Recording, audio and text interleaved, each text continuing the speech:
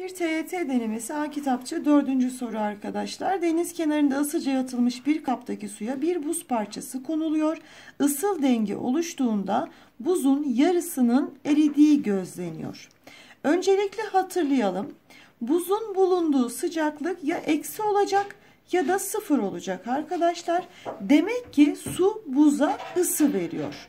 Dolayısıyla suyun sıcaklığının ısı verebilmesi için denge sıcaklığından büyük olması gerek. Buna göre bu durumla ilgili aşağıdakilerden hangisi kesinlikle yanlıştır diyor. Bakalım. Başlangıçta buzun sıcaklığı 0 santigrat derecenin altında olabilir. Mesela 0 santigrat derecenin altında m gram buzun var. Sudan ısı alan buz önce erime sıcaklığına yani 0 santigrat dereceye çıkar.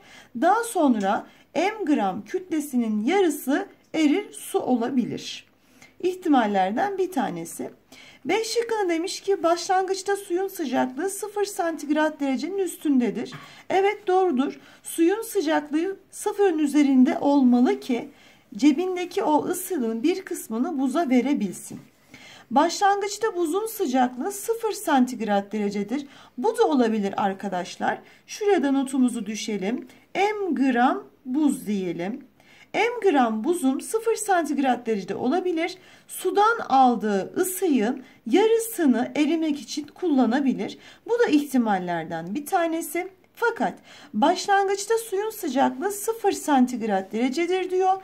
Başlangıçta suyumuzun sıcaklığı 0 santigrat derece olsa yani denge sıcaklığında olsa e, buza hangi ısıyı verecek? Dolayısıyla şu arkadaş kesinlikle yanlıştır. Son durumda buzun sıcaklığı 0 santigrat derecedir. Evet denge sıcaklığı çünkü suyun ve buzun yarısı eriyordu ya m gramın yarısını eritiyordu. Suyun ve buzun ortak noktada yani aynı anda bulunabildiği tek sıcaklık sıfırdır.